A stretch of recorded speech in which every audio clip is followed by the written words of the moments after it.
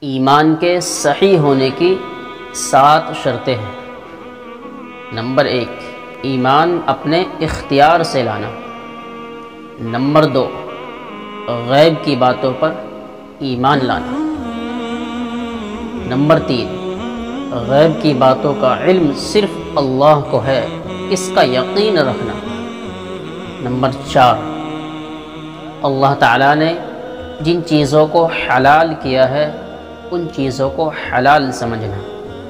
Number پانچ، اور جن چیزوں کو حرام کیا ہے ان کو حرام سمجھنا۔ نمبر چھ، اللہ کے عذاب سے ڈرتے رہنا۔ اور نمبر سات، اللہ کی رحمت کا امیدوار رہنا۔ یہ سات چیزیں ایمان کے صحیح ہونے کی شرطیں ہیں۔ کہ آپ کو یہ چیزیں پہلے معلوم تھی، ہمیں ضرور بتائیں۔